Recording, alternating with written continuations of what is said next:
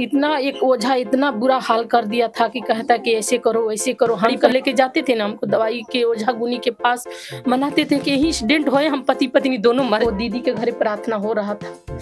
हमने कहा, जी हम अब थक गए हैं अब हम जाएँगे। ठीक कह रहे हैं कि अब तुम जाओ जब ठीक हो जाओगी तो हम दिल से प्रभु को मानने लगे। हमारा प्रभु ने हमको इतना चंगा कर दिया आज भले बुरे सब कुछ हम यीशु मसीह के मरते दम तक हम यीशु मसीह के नहीं छोड़ सकते हैं। ऐसा चमत्कार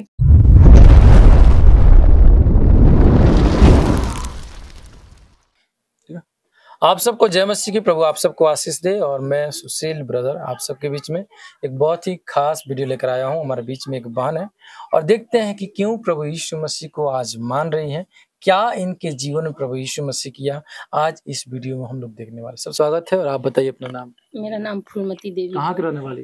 हम नागपुर के रहने वाले क्या हुआ था आपके जीवन में? हमारे जीवन में प्रभु ने हमारे पहला जीवन यही घर में प्रार्थना होता था भैया आते थे मेरी सास मुझको कहती है चलो तो ये कहते हैं गाली गुलोच देते हैं हाले हाँ। हालेलुया में नहीं होना है। हाले- गाली देते? कहें कि हालेलुया में नहीं होना है। कहें? कि ये अपना धर्म छोड़ के हम लोग इस यीशु मसीह को नहीं मानेंगे। बहुत बीमार होने लगी मैं जब मेरा बड़ा ऑपरेशन हो गया था ना। लड़की को शादी किया छह महीने नहीं बीता मेरा बड़ा ऑपरेशन हो गया। बहुत ढेकार इतना रोग था ना कि प्रभु ने कहा नहीं जाता है। बहुत दूर दूर हम लोग गए बाकी कहीं शांति नहीं मिला हम लोग को जीवन में बस इतना एक ओझा, इतना बुरा हाल कर दिया था कि कहता कि ऐसे करो ऐसे करो। हम कहें कि हम आपको पैसे दे रहे हैं। समाज में देखिए, घर में नहीं हम जाएँगे।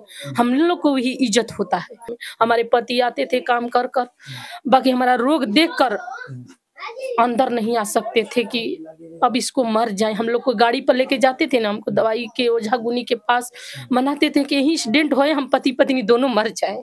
इतना हाँ, ऐसा दुखी तो होकर हमारे से बोलते भी नहीं थे बाकी मने मने ऐसे ही करते लगे हम लोग। बहुत जीवन में दुख हुआ हम गए अपने मायके से आ गए। मम्मी से भैया से भाभी से सबसे नाराज़ होकर हम चले आए। मम्मी ने कहा दिया घर पर आई मैं यहाँ ससुराल में आई। भैया वो दीदी के घर प्रार्थना हो रहा था। हमने कहा जी हम अब थक गए हैं अब हम जाएँगे। तो ये कह रहे हैं कि अब तुम जाओ जब ठीक हो जाओगी तो हम दिल से प्रभु को मानने लगे हाँ। जो पहले बोलते थे हाँ गाली दूसरे- भी देते हाँ। दूसरा धर्म है। कहें कि तुम जाओ मैं छह महीने लगातार गई दो महीने लगातार गई भैया के पास। बस एकदम हमारा रोग हर चीज़ ठीक हो गया। दो महीने दो महीने एक महीने हो तो मैंने एक दवा भी नहीं छह महीने लगातार हम एक दवा भी नहीं खाए। हमारा प्रभु ने हमको इतना चंगा कर दिया। आज भले बुरे सब कुछ हम यीशु मसीह के मरते दम तक हम यीशु मसीह के नहीं छोड़ सकते हैं। ऐसा चमत्कार जो किया। पहले आप करते थे वो सब। वो तो तो बुरा हाल था। जो वो कहा लोग ठीक नहीं किया। कहीं ठीक नहीं नहीं किया। जो ओझा गुनी के पास जाते थे वो कहीं कुछ नहीं ठीक किया। पैसे पाँच हज़ार दस हज़ार बीस हज़ार हम लोग देते थे हमारे सास भी हम सास को कहते हैं सास को अपना पूजा कराओ। सास कहती हम यीशु मसीह के मानते हम पूजा नहीं करेंगे। बाकी हमारे लिए हाँ सास भी मानती थी। हम्म। बाकी एक घराना से कहते हैं ना कि मसीहा में जो एक घराना विश्वास करता है उसका घराना उधार पाता है। बस मेरी माँ ने उधार किया सब लोग हम जितने घर में है सब उधार पा गए। ये तो आपका पूरा हाँ आपका पति भी आ गए हाँ हमारा पति भी इतना दारू पी के हम लोग को घर परिवार में इतना गाली गलोच देते हैं मारते थे ना कि हम दो दो तीन तीन महीने मायके भाग के जाते थे दो बच्चों को लेकर। हम्म। बाकी प्रभु का देन है बतिस्मा लिया। अपनी आप दारू गुल कुल नशा छूट गया। सारे लोग आज भी जो है कि ये दारू पी रहा है बहुत सारे आज भी लोग गलत कामों में अपना जीवन उनको क्या कहेंगे? आप सामने देखिए उनको क्या कहेंगे? आप यही कहेंगे कि आप प्रभु को मानिए और प्रार्थना हम सुबह शाम करते हैं, उपवास प्रार्थना कर कर अपने जीवन में, अपने पति को, अपने बच्चों को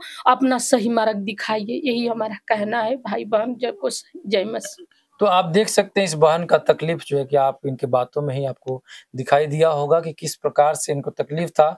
लेकिन जब ये बता रही थी कि इनके पति जब इनको लेकर जाते थे, लोग सोचते थे कि रास्ते में एक्सीडेंट हो जाए और हम हम लोग मर जाए, क्योंकि दुख इतना ज़्यादा था कि इन लोग को सहने से ज़्यादा था। लेकिन प्रभु क्या किया? इनको, इनका कहने के अनुसार इनको प्रभु बचाया और आज इनका जीवन सब कुछ ठीक हो गया है और आज प्रभु यीशु मसीह को अपना जीवन दे दी, इनका पति भी सुधर गए और आज कोई भी प्रॉब्लम नहीं मेरे प्रियो, आप लोग क्या सोचते हैं? अपना राय कमेंट बॉक्स में लिखिएगा फिर मिलते हैं नए वीडियो में। तब तक आप सबको जय मसीह। प्रभु की इस सेवकाई के लिए अपना बीज गूगल पे फ़ोन पे अकाउंट के द्वारा ज़रूर बोए और इस वीडियो को अपने दोस्तों तक ज़रूर शेयर करें। चैनल को सब्सक्राइब करें लाइक करें कमेंट करें। धन्यवाद।